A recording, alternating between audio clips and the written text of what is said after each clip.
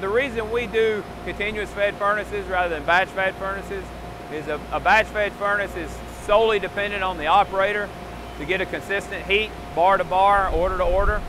With a continuous furnace, it's up to the furnace. It's computer controlled. It knows what order we're working on. It knows what temperature it needs to be coiled at. It knows the time at which those bars need to spin in the furnace to get the right heat. That way you don't have any uh, issues with overheating, uh, with any kind of decarb that you could easily get with uh, a batch furnace, uh, you know, if the guy just doesn't come back in time. Um, you also don't have any problems with the bars not being hot enough when you coil them. This furnace, not only is it monitoring the temperature of all the different zones in the furnaces, it also is monitoring the temperature of the actual bars.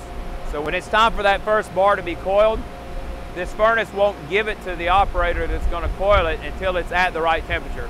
Even if they manually try to feed the bar out, it won't give it to them. So you don't want the bar overheated in the furnace, but you also want it at a proper heat when you do coil it uh, so that it's hot enough to coil and hot enough when it goes into the quench.